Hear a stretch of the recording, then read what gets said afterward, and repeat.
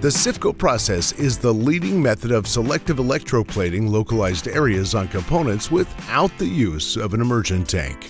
With over 50 metal and alloy solutions to meet the most demanding selective plating applications, the SIFCO process has been utilized for over 50 years on both OEM components and parts requiring refurbishment in the aerospace, oil and gas, power generation, and general industry sectors, and meets numerous industrial, military, and aerospace specifications.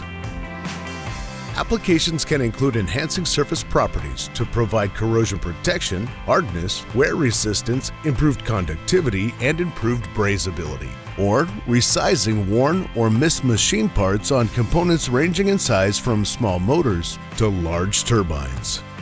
Most plating operations are performed at an operating temperature below 140 degrees Fahrenheit or 60 degrees Celsius, reducing the risk for part distortion.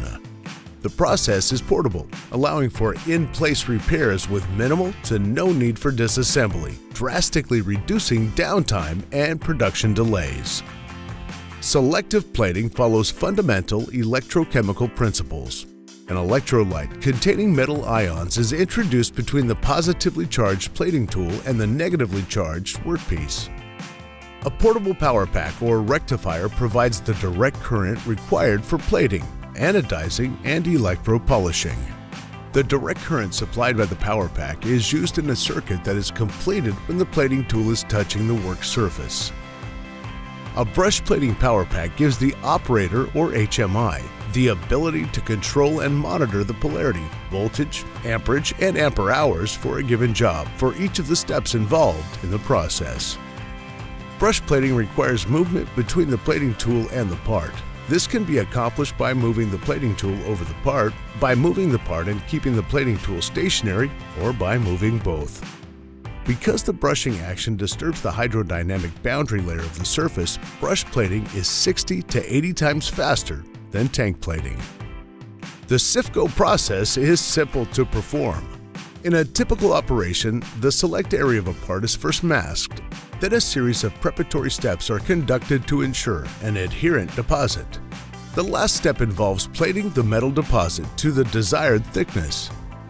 The preparatory steps depend on the base material and not the plating solution. Selective plating is a continuous multi-stage process in which the surface must not be allowed to dry between any preparatory or plating steps.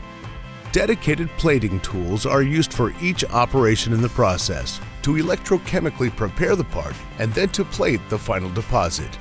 The plating tools are covered with an absorbent material saturated with a solution and then applied to the part.